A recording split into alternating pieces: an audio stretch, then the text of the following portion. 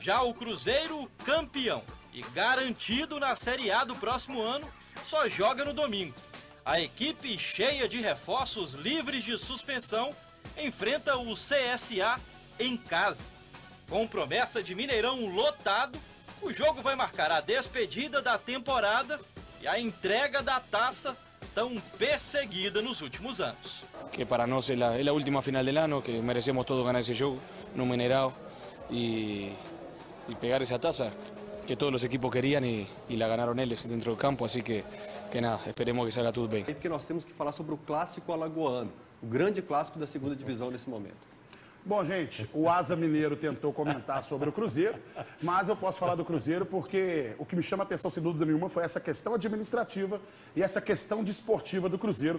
Foi muito bem nos dois e no ano que vem, acho que com o balanço, a gente pode comentar melhor sobre algumas movimentações que a gestão do Ronaldo fez no Cruzeiro. Mas desportivo, a gente pode falar que, graças a Deus, deu tudo certo. E como é a vida, né? O filósofo contemporâneo aqui, Fael fala que o Cruzeiro virou o CSA.